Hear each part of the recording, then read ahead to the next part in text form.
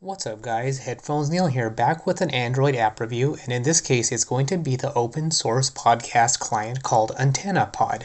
So the reason I'm reviewing this app is because we recently got the news that Pocket Cast is being sold off by the consortium of companies that bought them, I want to say last year or the year before or so. So I got to thinking that if there's another um, more regularly updated podcast client for Android that works, that offers syncing and backup and that sort of stuff. And I remember that there was an app called AntennaPod that came out way back in the day, and I enjoyed it at the time. So, as it turns out, it continues to be updated and is available for free in the Android App Store and also, or uh, basically Google Play, and also in a third party App Store repository called F-Droid. So I decided to give it a test to see how it holds up, subscribing, refreshing in the various settings. And overall, I'm enjoying it quite a bit. So let's jump right into it. So when you launch the app, you get a few different features. It's a very minimalist and basic looking app. So from here, this layout is essentially the most difficult that you get out of it. So um, when you load it, you can for me, what I did was I did play around with the settings a little bit to begin with. So things like the user interface, you can set your theme, uh, you can set your drawer um, or your menu option items. So things like your queue, subscription episodes, subscription link, and stuff like that. So for example, um, having um, your subscript uh, subscription link here along with the menu drawers is kind of redundant. So you can do things like um, take out subscriptions. So when you go back, you don't have that, but you still have your list here. So you have that kind of um, interface to keep it nice and simple. You can um, view the episode cover if your podcast episode su- supports it. You can set your um, subscription order, so by name, counter, no publication date, um, or last update, and things like that. You can have a subscription counter if you want to view things like that. Um, filter and all that. So there's a lot of features in the um, app itself. Um, so you can set your uh, notification buttons and all that. So there's a lot of different customization options to make it full featured but easy to use. So and that's something that I think was lost in um, in the Pocket Cast update that a lot of people did not like. So that's a bit of the flip side for why um, a user might enjoy this, or if you're getting into the podcasting world and don't particularly like a difficult to use app. So, for example, for me, I while Google Podcast is good enough and has a good visual is visually appealing, for me it is kind of disjointed and difficult to use because it's not really something that makes it easy to use uh, that client. Even though they did recently add the ability to add custom RSS feeds, the UI just doesn't work for me. Um, so you can also set your playback options like you see here. So um, when you disconnect or reconnect headphones, if you get a phone call, um, what your playback and rewind buttons do. So also so a bunch of um, settings there. Uh, what happens when you do get it when your a new episode shows up? So um, once a new episode is refreshed and let downloaded, you can have the app automatically be added to your queued list. So um, there's continuous playback, and that's also an option. So if you want your episodes to continue to play as you're listening, you can do that. Or if you want to stop when it's done, so you can listen to another episode um, separately, then that's also an option. Um, if you skip an episode and want it to stick around because you want to get back to it later, then that's also an option as you see here.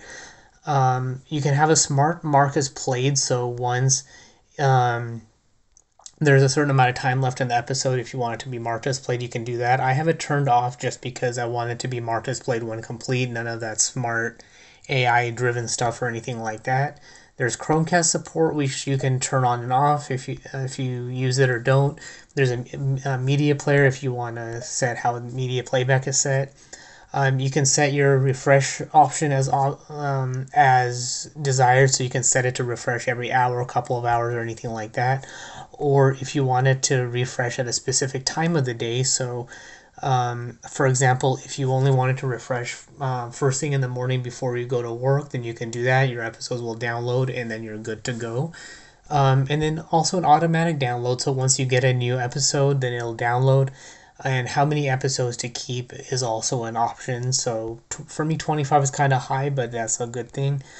Um, episode cleanup. So once an episode is completed, for my option, it will delete. But if you want a certain time after finishing in case you need to go back to it, that's also an option. And then downloading only when charging or not charging. It's a simple option. I've never really used it, but if you find that you prefer to only download when charging, then that's also an option. Um, you can also set when mobile items are updated. So, for example, for me, I don't mind if the podcast refreshes um, on mobile data, and I don't mind streaming or anything like that, but I don't want it to download on mobile, so that's an option there. And then you can set parallel download. So if you only want to download one episode at a time, that's an option.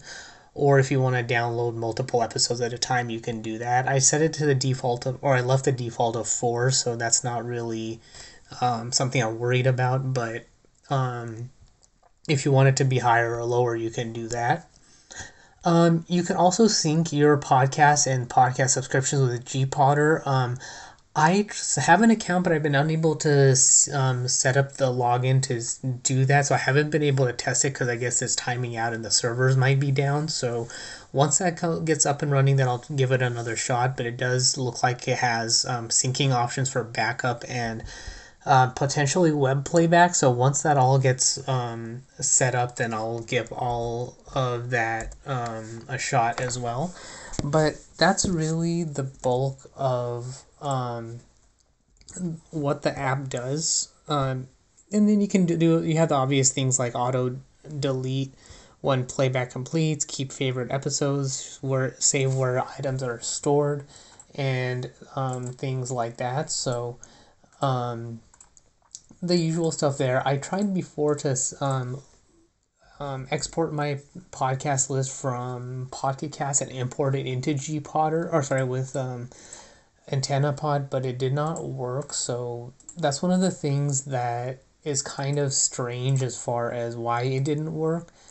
Um, so I'm not sure what that is. So I had to manually um, add my podcast, but it wasn't too bad. Um, the benefit here is that it does natively support um, using, for example, um, Patreon feed. So if you do um, have an if you do support podcasts on Patreon, then you can import those um, podcasts as well. So, for example, you see that I support um, Cord Killers, um, Daily Tech News Show, uh, the morning stream. So that's all supported, and then the um, if you as long as you have an internet connection, you can also browse around to view um, other um, shows that are, that are there, or if you don't have a uh, podcast um, URL to subscribe to, you could always search for um, podcasts. For example, if I want to sub- search for all about um, Android, you can search for that, and um, it'll come in. You can subscribe to the video or audio. Touching it will give you um, information about the show, episode listings, and all that, and then you can hit subscribe.